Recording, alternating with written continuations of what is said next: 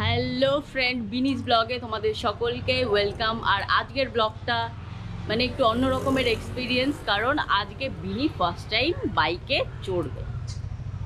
দেখা যাক বাইকে ওর এক্সপিরিয়েন্সটা কেমন ভয় পায় নাকি কি করে।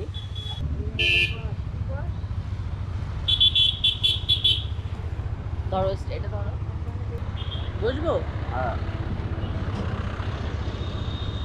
এটা মানি। আসো এটা ধরো একটু এবার একটু ধরো বিনিরে কোলে নি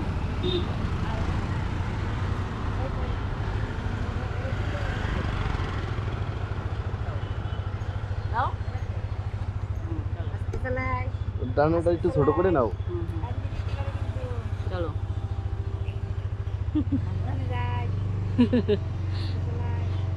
তো বিনি কিন্তু বাইকে বসে রয়েছে চুপটি করে তো জয়কে বলেছি যে আস্তে আস্তে করে চালিয়ে যেতে দেখা যাক কি করে। বিনি বিনি মামা। বিনি কোনো রকম রেসপন্স করছে না চুপচাপ খাপটি মেরে বসে রয়েছে।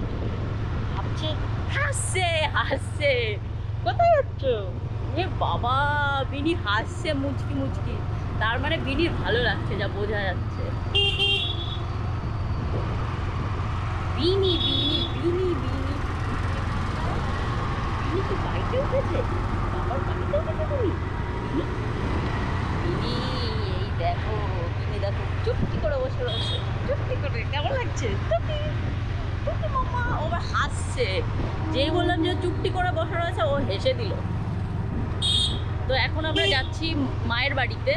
তো মাকে একটু দেখা করিয়ে নিয়ে আসব আর সেই সাথে একটু কাজ আছে সেটাও সারবো। ভাবলাম যে বিনিকে নিয়েই যাওয়া যাক কারণ বিনি এখন যথেষ্ট বড় হয়ে গেছে। মোটামুটি আমাদের রেল গেটের কাছে পৌঁছে গেছি আর ট্রেনের আওয়াজ পেলাম। মনে হয় গেট পড়েছে। হ্যাঁ গেট পড়েছে। মাল ট্রেন যাচ্ছে। তো আমরা কাছে দাঁড়াবো না একটু দূরে দাঁড়াবো কারণ নাহলে বিনি আবার এত লোকজন দেখে আবার কি রিয়াক্ট করবে কে জানে। তো এই ফাঁকা জায়গায় দাঁড়িয়ে। যাব এখানে।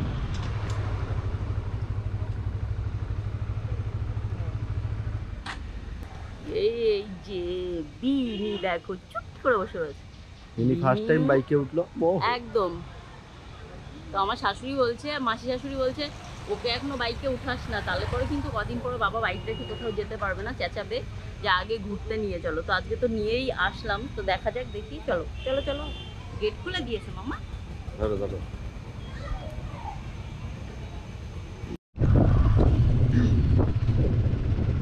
বিনি দেখো একদম ঘুমিয়ে কিন্তু কাদা হয়ে গেছে।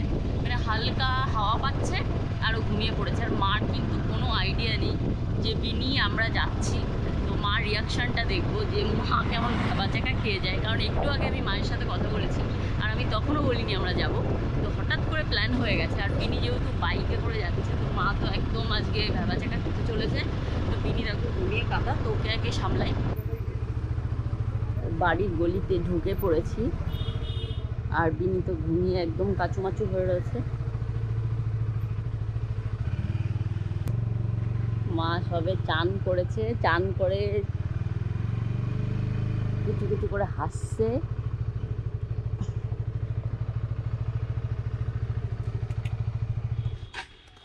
গাড়িতে করে নিয়ে আসলাম, অর্ধেক পথ আস্তে আস্তে ঘুমায় গেল।